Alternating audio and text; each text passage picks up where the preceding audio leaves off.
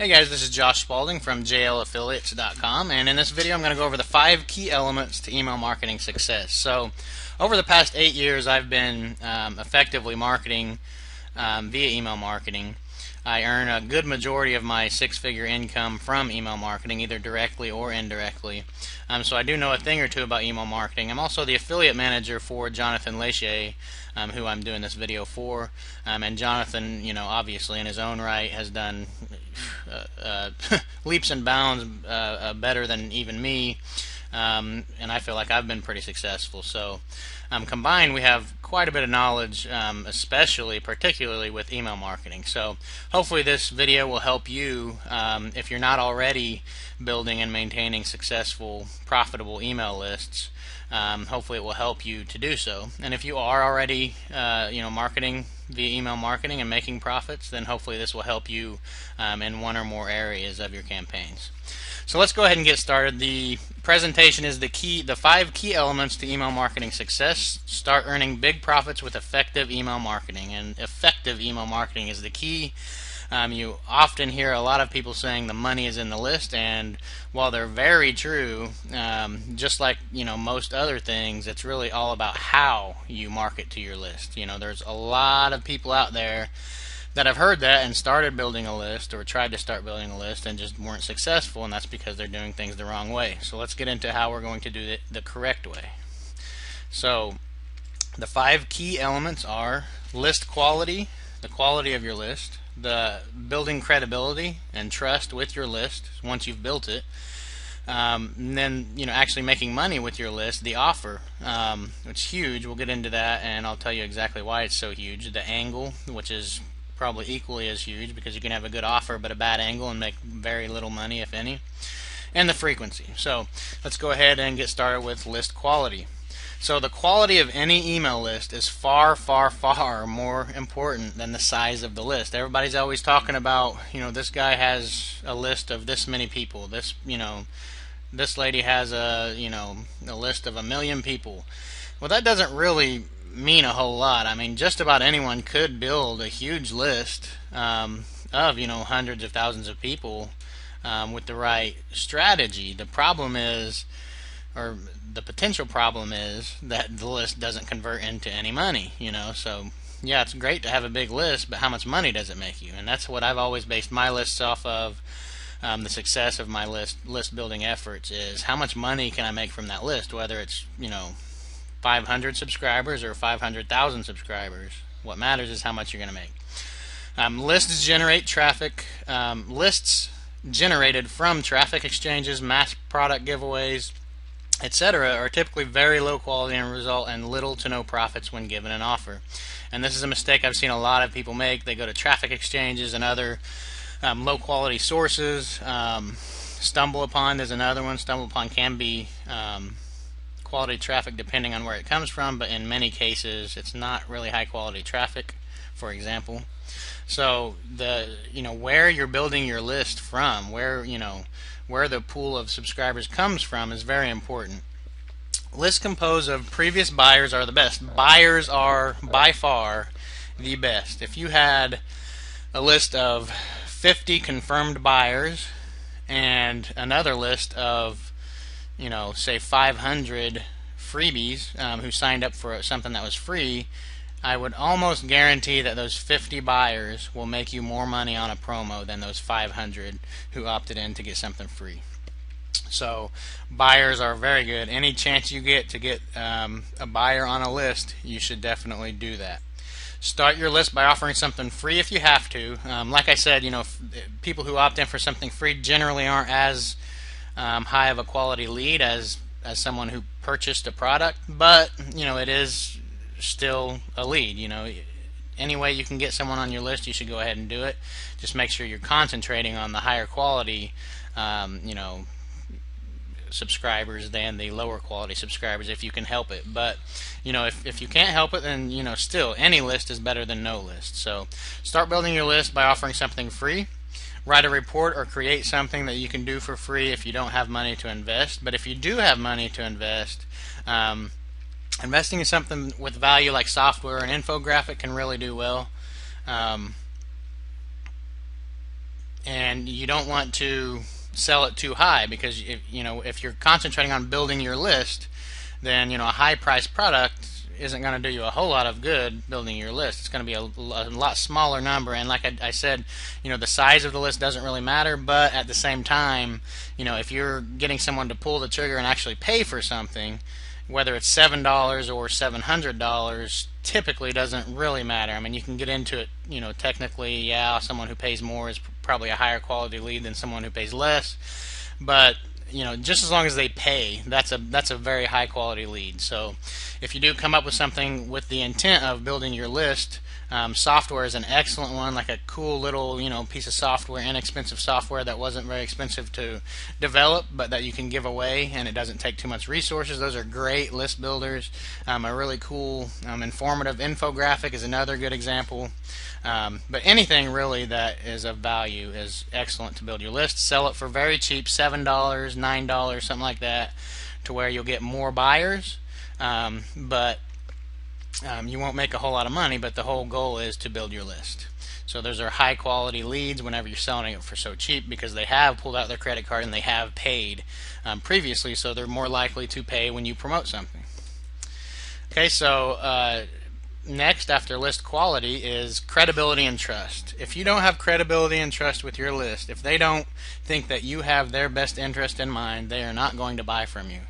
This is very important. All of these points are probably equally as important, but every single one is very important. If your list doesn't trust you, they will not buy from you. Build their li- build their trust and your credibility will grow. Send them more emails that contain free info and advice than promotions, and that's a big one. Uh, a lot of people, you know, when you get on lists, that's why lists have such bad reputation because there's so many people who get you on their list and then all they do is sell to you. That's annoying that you know you don't look at all the offers because you know he's going to be, you know, the person's going to be sending out another one tomorrow. Um, it's just it, it, lowers the credibility and trust and it just it's not going to do you any good. There's nothing wrong with promoting a product but only promote products that you really do recommend that you have reviewed and you like and you think it will help your list. Um, and giving and, and you know giving free information free reports free videos you know free stuff you know not all the time. You don't want to get them accustomed to getting free stuff all the time but you want to give them more um, more advice that they don't have to pay for than you give them that they do have to pay for. Um, so just be careful about that. Don't you know try to get their money every time you contact them. Um, just think of you know in real life, you know offline. If somebody comes to your door every day wanting to sell something, you're not gonna you know trust that person because all you know that all they want to do is make money from you. So keep that in mind. Um, every time you send out an email, imagine that your own family and or friends are reading it and taking every word to heart. And that's something that I always try to remind myself every time because, you know, we're all human. We're, you know, none of us are perfect. And obviously we're doing this to make money. But at the same time, you know, hopefully you, you do legitimately want to help people too. So just keep that in mind whenever, you know, before you write an email, you know, if my own brother or sister or son or daughter, you know, whoever, someone you love, is reading each one of these emails and taking them to heart and really believing every word you say, you know, would you feel with this email that I'm about to write, would you feel right about it? You know, and if if you wouldn't feel right about it, then then change it to you know to where you would feel good about sharing that with a loved one. If your main concern is to make money, it will show and you will make less money help your list and make that your top priority. If you do that, the money will come naturally. And that basically sums up what I just went over. Um, help people. If you're really legitimately trying to help your list, it will um, turn out to make you more money in the long run, I promise you. So try not to think about the money, try to think about actually helping the people, and you'll do much better. The offer, the right offer, can make the difference between a $50 promo and a $10,000 promo, for example. This is the biggest lesson I've learned over the years, and it is a big lesson. Um, when I first started my lists and I did a couple successful promotions, I thought, well, this is awesome. You know, I can just send out anything that you know seems to be a good offer and I'll just make all kinds of money. Well, I quickly learned, you know, that I was and at the time I was doing pretty well. You know, in, in the first year of my list, um, that I started my list, you know, I was doing, um, I think I was doing 500,000, 1,500, 2,000 dollar promotions. Um, but then I learned, you know, I, I, remember one time specifically I did like eight thousand dollars for a promotion, and it was it was like within the first year I was building my list, and I was just so happy. I was thinking, well, I'm going to get ten thousand dollars every time I do a promotion, and then the next promotion I did, I made like I think it was like $150. So I learned real quick the offer really um, really does make a huge difference. And, and, and when I say that, I'm not talking about just the quality of the offer. I'm talking about the relevance of the offer. You need to know your list, and that's the second point. Know your list. Know what they're interested in. Know what they need help with. Because if you you could find the best product in the world that helps with X Y Z, but if X Y Z isn't what your list is interested in, it's not going to sell, even if it is a high quality product. So know your list. Do a poll. Find out you know find out what they're interested in, what they need help with, um, what their experience is, etc. Learn as much as you can about your list, and then tailor your um, you know the information you give to them, the help that you give them, and the and the products that you promote. Tailor it to to that to the result of that poll. It's a very big one right there. Discounts are huge. Some of my best promotions I've ever done have been because I offered. Um, well, first off, of course, um, a good product, but second, I offered a discount that they couldn't get anywhere else, and they had to order through my affiliate link. So it drives it increases the number of sales drastically by offering a discount. I always just contact the product owner, say, hey, I'm going to do a, a promo. Um, is there any way I can give them a discount? It, it, it always helps my list um, do more sales. And a lot of people will go ahead and offer a discount for you. A lot of them will like create a new page for you, um, specifically for you. Um, and that is a big thing. Definitely try to get a discount every chance you get. The angle is just as important. You could have the best product, um, tailor made for your list, perfect, but if you don't have the right angle, they're not going to see the value and they're not going to buy. The angle is basically how you pitch the product, and like the offer, the angle can make a dramatic impact on the final number of sales. The difference can be thousands, even tens of thousands of dollars, and that is very true. Choosing the right angle depends on the list. This goes back to knowing your list. You need to know your list to know what you know what triggers them to take action and to buy. Um, just you know, look at the the previous emails you've sent, the previous promos you've done, which ones did well, which ones didn't do well, um, and tailor your angle on that. Um, subject, the subject of your email is crucial.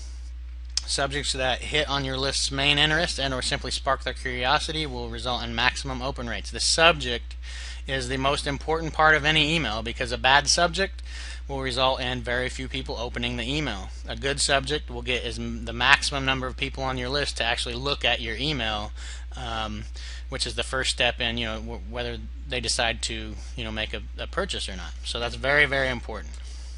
The frequency. A lot of people say if you email too much, you know, don't email too much. Just email every once in a while. That's not so much true. If you want someone to succeed, you stay in touch with them regularly. If you are only sending out promos or low quality content, then of course you shouldn't be mailing often. You really shouldn't be mailing at all.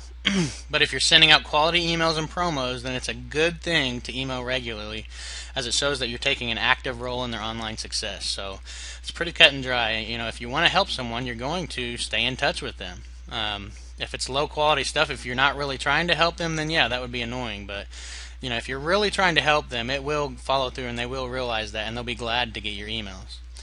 At the same time, like I said, you don't want to overdo it. Sending out more than one email a day in most cases is not a good idea simply because it's annoying. And, you know, people only have so much time in the day, so even if your quality is top notch, even if they do like to get your emails, if you're sending out too much, you know, they have other things to do during the day. They, you know, they can't spend it sitting there reading your you know articles, watching your videos, doing you know spending time on all this stuff you're sending them. So don't overdo it. Don't be sending you know two or three or four emails every day. Only email when you have something of value to share. So you know it could be every day. It could be an email every day. It could be you know two or three emails a week. It may even be um, you know it may be more or less, but you know, only email when you really have something valuable to share. Just keep in mind that you are trying to help these people. Just stop thinking about money and just think about how am I going to help these people and what do I really need to send them. Um, and if you do that, you'll be good. The conclusion, the popular saying, the money is in the list, is still very true. But your list must be built and maintained correctly in order for it to be a reality for you. Use the tips in this video to prepare for a long term, successful, profitable email marketing campaign. And um, short but sweet. I hope. Hopefully, it's been very helpful to you. The you know obviously I could sit here for hours talking about email marketing, this and that, and past experiences, etc. But what I've gone over in this video sums it up pretty good, and they are the most important points in regards to email marketing, in my opinion, ones that I've learned over the past eight years of my own email marketing campaign. So I hope that helps. And for more affiliate marketing training, go to jlaffiliates.com slash training, where we're always adding new free um, email marketing video, or excuse me, affiliate marketing videos and just general internet marketing videos to help you make more money. So I hope that helps. Thanks.